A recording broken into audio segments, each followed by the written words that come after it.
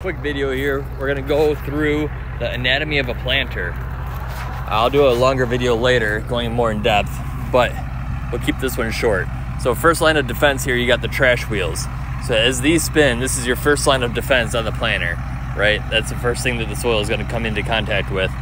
And as it does, these things will spin and any any debris, any residue, especially in corn ground, you'll have corn stalks. These are, this is soybean stubble, so not as crazy, but it flips any residue out of the way and makes a nice clean path for a seed bed.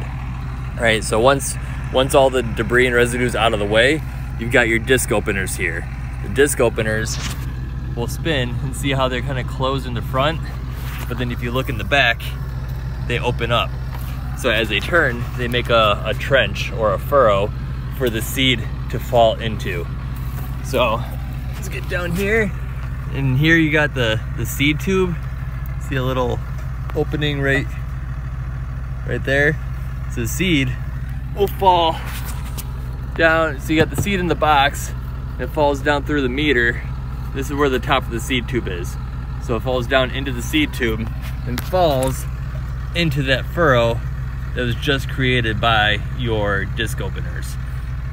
And then following the seed tube, you've got the seed firmer, which gently pushes down on the seed after it falls into the furrow and makes it nice and snug into the soil. It maintains good seed to soil contact.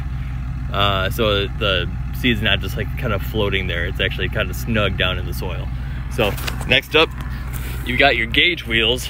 And this is what adjusts the height of the planter, right? So these raise and lower. And you've got dog ears right here, is what these are called.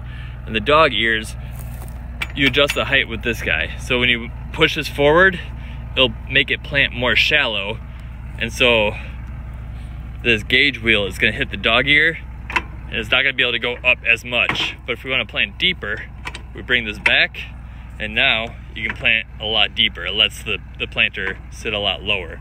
Uh, last but not least, you have your closing wheels. This is what closes in the furrow. It closes in the trench, uh, cover, throwing dirt over the seed so the seed can grow. So that's essentially it. Um, and then you've got little things like, like this. This sets the pressure. It tells it how much pressure do you want to put down on the closing wheel.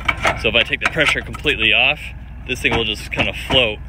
But if I put, oh now I can't lift it at all. So how much pressure do you want to put down? So in a nutshell, that's a quick glance